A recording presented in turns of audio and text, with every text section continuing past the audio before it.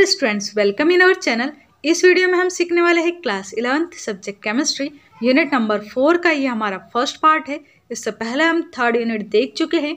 इस यूनिट में हम क्या सीखेंगे?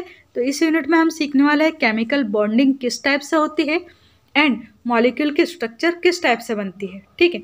तो ये यूनिट बहुत ही इंटरेस्टिंग है और इसमें सारे इंपॉर्टेंट टॉपिक्स आएँगे जो कि आपको फ्यूचर में जब भी आप केमिस्ट्री पढ़ोगे, तब आपको काम आएँगे।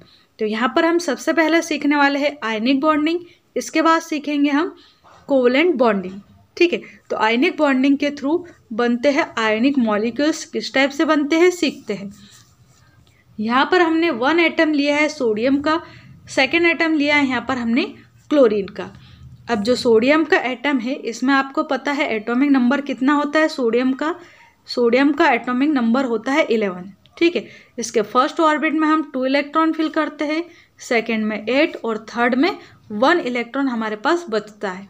टोटल कितने होगा ये? इलेवन यहाँ पर देखिए टू इलेक्ट्रॉन्स फ़र्स्ट ऑर्बिट में सेकेंड वाले में एट और थर्ड वाले में वन इलेक्ट्रॉन ठीक है? अब ये जो वन इलेक्ट्रॉन है, ये सोडियम किसको डोनेट कर देता है? क्लोरीन को डोनेट कर देता है, ताकि ये स्टेबल स्टेट में चला जाए, ठीक है? जब सोडियम वन इलेक्ट्रॉन डोनेट कर देता है क्लोरीन को, यहाँ पर ये क्लोरीन को डोनेट कर दिया इसने तो इसका ये जो ऑर्बिट है वो हट जाता है यहाँ से, और सोडियम के ऊपर कौन सा चार्ज आ जाता है यहाँ पर? तो प्लस चार्ज आ जाता है।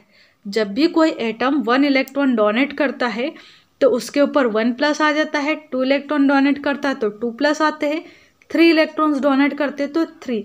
इस टाइप से जितने इलेक्ट्रॉन डोनेट करता है, कोई भी एटम उसके ऊपर उतने ही प्लस चार्जेस डेवलप हो जाते हैं, ठीक है? और ऐसे ही जो एटम जितने इलेक्ट्रॉन्स लेता है, उसके ऊपर उतने ही माइनस चार्ज डेवलप हो जाते हैं। जैसे यहाँ पर देखिए, जो क्लोरीन है, इसका अगर हम एटॉमिक नंबर देखें तो क्लोरीन का एटॉमिक नंबर होता है सेवनटीन इलेक्ट्रॉनिक कॉन्फ़िगरेशन कैसा होगा? फ़र्स्ट ऑर्बिट में यहाँ पर टू इलेक्ट्रॉन ये रहे टू इलेक्ट्रॉन यहाँ पर। सेकेंड जो ऑर्बिट है, उसमें एट इलेक्ट्रॉन सेकेंड वाले में एट इलेक्ट्रॉन दिखेंगे आपको। और थर्ड वाले में इसमें आ जाएँगे सेवन अब यहाँ पर ये जो सेवन इलेक्ट्रॉन है, अगर यहाँ पर एक इलेक्ट्रॉन कहीं से आ जाता है तो यहाँ पर कितने हो जाते हैं? एट इलेक्ट्रॉन्स इसी को हम बोलते हैं कि जो क्लोरीन है, इसका ऑक्टेट कंप्लीट हो गया. कोई सा भी एटम हो, वो अपने लास्ट ऑर्बिट में एट इलेक्ट्रॉन लाने की कोशिश करता है, ताकि वो स्टेबल हो जाए. तो ऐसे यहाँ पर जो क्लोरीन है, इसके लास्ट ऑर्बिट में स्टार्टिंग में आप देखें तो यहाँ पर ये सेवन इलेक्ट्रॉन्स थे, ठीक है? वन इलेक्ट्रॉन इसने सोडियम से ले लिया और इसके लास्ट ऑर्बिट में क्या होगा? यहाँ पर आप काउंट करेंगे तो एट इलेक्ट्रॉन्स आपको मिलेंगे, ठीक है? यानी कि ये स्टेबल हो गया और इसके ऊपर चार्ज कौन सा डेवलप हो गया? तो माइनस चार्ज इसने वन इलेक्ट्रॉन एक्सेप्ट किया, इसलिए इसके ऊपर वन माइनस चार्ज यहाँ पर डेवलप हो गया। अब इस टाइप से देखिए, एक प्लस एटम है, दूसरा माइनस एटम है। जब इस टाइप इस टाइप से एटम्स रहते हैं तो ये एक दूसरे को इलेक्ट्रोस्टैटिक फोर्स के थ्रू अट्रैक्ट करते हैं। यानी कि ये जो हमारे पास आयन्स बने, एक केटायन बन गया और एक एनायन बन गया। तो ये दोनों क्या करते हैं? एक दूसरे को अपनी ओर अट्रैक्ट करते हैं और इनके थ्रू इनके बीच में एक बॉन्ड बनता है। और उस बॉन्ड को हम बोलते हैं आयनिक बॉन्ड क्या बोलते हैं उसे हम? आयनिक बोंड, यानी कि दो आयंस के बीच में जो बोंड बनता है, उसे हम बोलते हैं आयनिक बोंड। आयन कब बनते हैं, ये हमेशा याद रखना आप।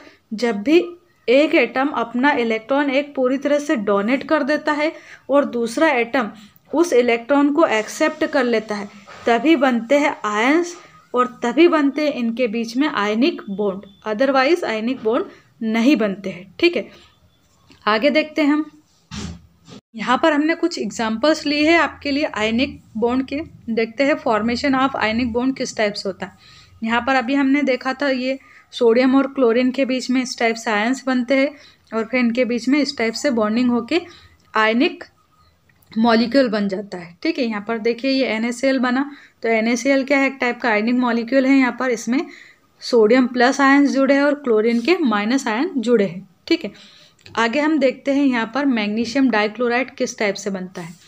यहाँ पर आप देखिए, इसको जूम करके आपको अच्छे से समझाती हूँ।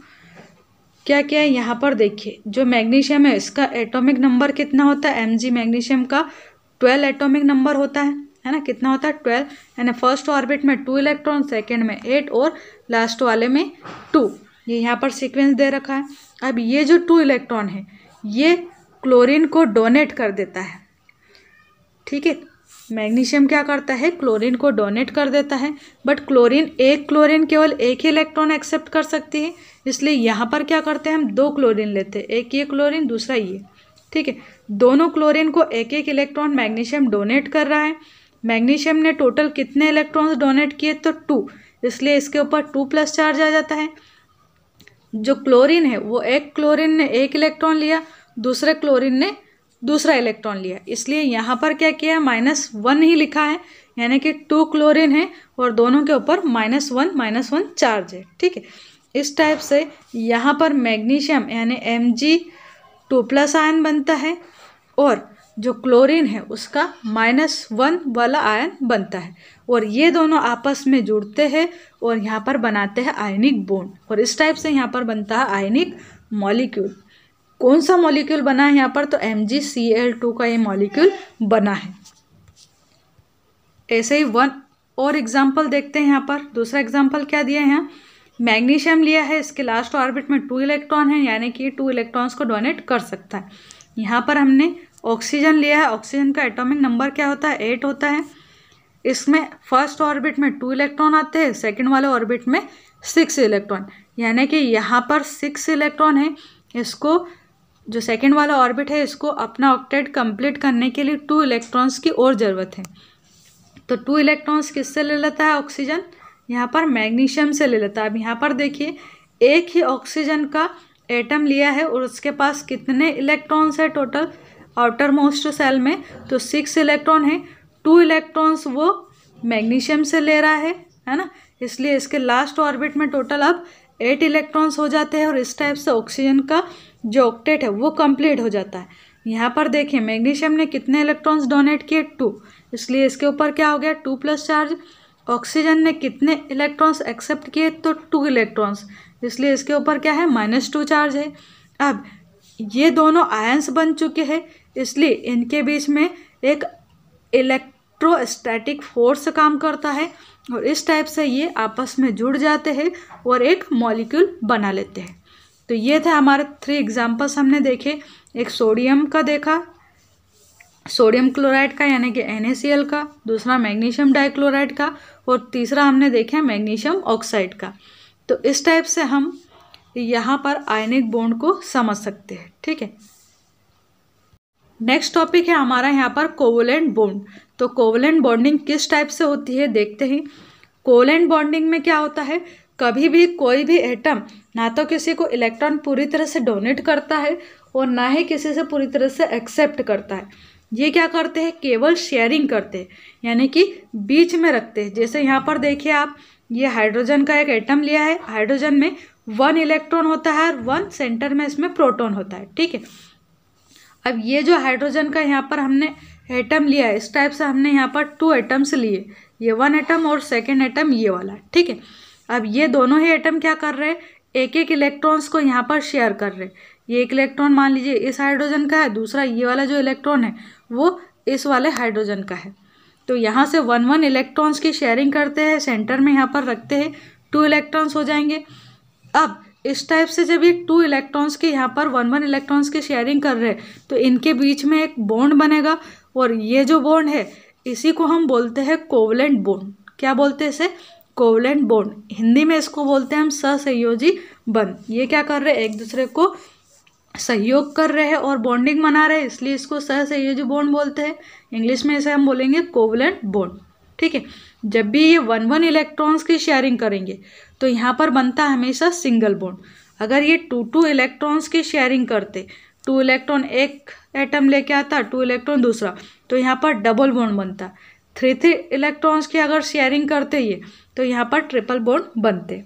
तो और अच्छे से समझते हैं, आगे स्ट्रक्चर में देखते हैं। यहाँ पर देखिए स्ट्रक्चर लिए हमने, ये कार्बन है, ठीक है? कार्बन में ये गोल गोल दिख रहा है आपको जो फोर इलेक्ट्रॉन्स है इसके, है ना? यानी कि कार्बन के लास्ट ऑर्बिट में फोर इलेक्ट्रॉन्स है। इसको अपना ऑक्टेट कंप्लीट करने के लिए, यानी आठ इलेक्ट्रॉन कंप्लीट करने के लिए फोर और इलेक्ट्रॉन्स की ज़रूरत है। तो ये फोर इलेक्ट्रॉन्स कहाँ से आते हैं? यहाँ साइड से इसमें फोर हाइड्रोजन ऐसे जुड़ जाते हैं और एक एक इलेक्ट्रॉन की यहाँ पर शेयरिंग करते हैं। अब एक एक इलेक्ट्रॉन की जब शेयरिंग करते हैं तो ये इलेक्ट्रॉन को यहाँ पर क्रॉस के फॉर्म में रिप्रेजेंट किया है। ये शेयरिंग करने से क्या होता है? दोनों ही एटम्स का काम हो जाता है। यहाँ पर जो कार्बन है, इसके लास्ट ऑर्बिट में अगर आप देखें तो यहाँ पर कितने इलेक्ट्रॉन्स हो गए? एट इलेक्ट्रॉन ठीक है? हाइड्रोजन जो है हाइड्रोजन का जो लास्ट ऑर्बिट है, इसके पास तो पहला ही ऑर्बिट होता है, ये न्यूक्लियस और हाइड्रोजन में ये पहला ही ऑर्बिट होता है। पहले ऑर्बिट में अगर दो इलेक्ट्रॉन भी मिल जाए इनको तो ये इनका जो ऑर्बिट है, वो स्टेबल हो जाता है है ना? तो यहाँ पर क्या हो रहा है? हाइड्रोजन का जो लास्ट ऑर्बिट है, इसमें दो इलेक्ट्रॉन्स आ जाते हैं। इसलिए हाइड्रोजन भी क्या हो जाता है? यहाँ पर स्टेबल हो जाता है। और इस टाइप से जो कार्बन है, वो हाइड्रोजन के साथ फोर हाइड्रोजन के साथ शेयरिंग करके फोर यहाँ पर बॉन्ड्स बनाता है। किस टाइप से? ये फोर बॉन्ड बना लिए, है ना? और फोर साइड से ये इस टाइप से हाइड्रोजन से जुड़ जाता है। ठीक है? तो इस टाइप से होती है कोवलेंट बॉन्डिंग कोवलेंट बॉन्डिंग हमेशा याद रखना, ये शेयरिंग ऑफ़ इलेक्ट्रॉन के थ्रू होती है। नेक्स्ट टॉपिक देखते हैं हम, टाइप्स ऑफ़ कोवलेंट बॉन्ड। तो थ्री टाइप के कोवलेंट बॉन्ड होते हैं मेनली इनको एग्जांपल से देखते हैं हम कौन कौन से टाइप है। फ़र्स्ट है यहाँ पर सिंगल कोवलेंट टाइप सेकेंड है डबल और थर्ड है यहाँ पर ट्रिपल कोवलेंट बॉन्ड। तो ये कैसे बनते हैं एग्ज़ाम्पल के थ्रू देखते हैं। यहाँ पर सिंगल में एग्ज़ाम्पल लिया है फ्लोरिन का। फ्लोरिन का यहाँ पर एक मॉलिक्यूल बना है। कैसे बनता है? फ्लोरिन का मॉलिक्यूल देखते हैं। फ्लोरिन का अगर हम एटॉमिक नंबर देखें तो कितना है? नाइन है। यानी कि फ़र्स्ट ऑर्बिट में टू इलेक्ट्रॉन आते हैं। सेकेंड ऑर्बिट में यहाँ पर सेवन इलेक्ट्रॉन्स प्रेजेंट होते। अब लास्ट ऑर्बिट में यहाँ पर सेवन इलेक्ट्रॉन है। इसको अपना ऑक्टेट कंप्लीट करने के लिए कितने इलेक्ट्रॉन्स की ज़रूरत है? तो ओनली वन इलेक्ट्रॉन की। अब वन इलेक्ट्रॉन ये कहाँ से लेता है? तो वन इलेक्ट्रॉन, ये जो फ्लोरिन है, वो इससे ले लेता है और ऐसे ही ये जो फ्लोरिन है, वो इस फ्लोरिन से वन इलेक्ट्रॉन की शेयरिंग कर लेता है। यानी कि दोनों ही फ्लोरिन वन वन इलेक्ट्रॉन्स को सेंटर में रखते हैं, ये यहाँ पर रिप्रेजेंट किया है जैसे। और शेयरिंग के थ्रू यहाँ पर बनाते हैं ये सिंगल बोर्ड ठीक है? यहाँ पर देखिए, फ्लोरिन में कुछ बच्चे क्या करते हैं, बहुत सारे ऐसे डॉट लगा देते हैं आसपास फ्लोरिन के। जबकि ऐसा नहीं करना। है ये हमें जो डोट लगे हैं, ये क्या रिप्रेजेंट कर रहे हैं? लास्ट ऑर्बिट में नंबर ऑफ़ इलेक्ट्रॉन्स तो यहाँ पर जो फ्लोरिन है, इसके लास्ट ऑर्बिट में कितने इलेक्ट्रॉन्स होते हैं? तो सेवन इलेक्ट्रॉन होते हैं, इसलिए हमें यहाँ पर सेवन डोट ही बनाने हैं। मन से ज़्यादा या कम नहीं बनाने। अब ये जो सेवन इलेक्ट्रॉन्स है, अगर एक इलेक्ट्रॉन इनको कहीं से मिल जाता है तो इनका ऑक्टेट कंप्लीट हो जाता है। तो यहाँ पर क्या करते हैं? दो फ्लोरिन्स आते हैं।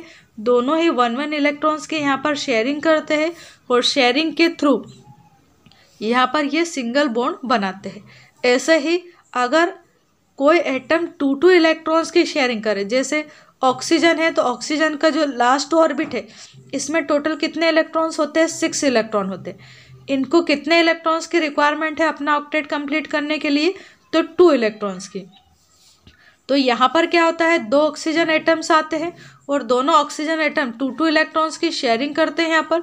टोटल फोर इलेक्ट्रॉन की शेयरिंग होती है यहाँ पर। देखिए फोर इलेक्ट्रॉन की शेयरिंग रिप्रेजेंट की है। और इस टाइप से यहाँ पर इनके बीच में ऑक्सीजन ऑक्सीजन के बीच में डबल बॉन्ड बन जाता है। ठीक है? ऐसे ही ट्रिपल बॉन्ड बनता है। ट्रिपल बॉन्ड में क्या होगा? तीन तीन इलेक्ट्रॉन्स की शेयरिंग होगी। नाइट्रोजन का अगर एग्ज़ाम्पल हम देखें तो नाइट्रोजन के लास्ट ऑर्बिट में होते हैं फाइव इलेक्ट्रॉन इनको अपना ऑक्टेट कंप्लीट करने के लिए थ्री थ्री इलेक्ट्रॉन्स की ज़रूरत होती है. दोनों एटम्स को थ्री थ्री इलेक्ट्रॉन्स की ज़रूरत है. दोनों एक दूसरे से थ्री थ्री इलेक्ट्रॉन्स की शेयरिंग करते हैं यहाँ पर और बनाते हैं यहाँ पर ये फिर ट्रिपल बोन्ड नाइट्रोजन और नाइट्रोजन के बीच में हमेशा ट्रिपल बोन्ड प्रेजेंट होता है. यानी कि जो एन टू का मॉलिक्यूल है, उसमें ट्रिपल बोन्ड यानी कि तीन कोवलेंट बोन्ड्स प्रेजेंट है। क्यों प्रेजेंट है? क्योंकि यहाँ पर दोनों ही नाइट्रोजन क्या कर रहे हैं? तीन तीन इलेक्ट्रॉन्स के यहाँ पर शेयरिंग कर रहे हैं।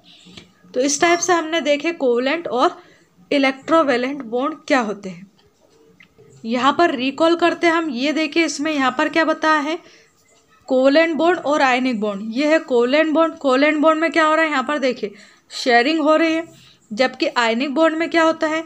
ये जो सोडियम है, इसके ये ऑरेंज कलर के इलेक्ट्रॉन्स है यहाँ पर। तो एक इलेक्ट्रॉन इसने यहाँ पर क्लोरीन को डोनेट कर दिया है। और यहाँ पर जो क्लोरीन है, इसने वन इलेक्ट्रॉन एक्सेप्ट किया है, इसलिए इसके ऊपर माइनस चार्ज सोडियम ने डोनेट किया इसलिए इसके ऊपर प्लस चार्ज डेवलप होता है। और इस टाइप से इनके बीच में बोन्ड बनता है और उसे हम बोलते हैं आयनिक बोन्ड जबकि कोवलेंट में क्या हो रहा है, यहाँ पर शेयरिंग हो रही है इलेक्ट्रॉन्स की है ना? तो ये दोनों में डिफरेंस है। आयनिक बॉन्ड में कम्प्लीटली इलेक्ट्रॉन्स का डोनेशन होता है और कम्प्लीटली इलेक्ट्रॉन का एक्सेप्शन होता है। एक्सेप्टेशन होता है, जबकि यहाँ पर कोवलेंट बॉन्ड में क्या होता है? ओनली शेयरिंग होती है।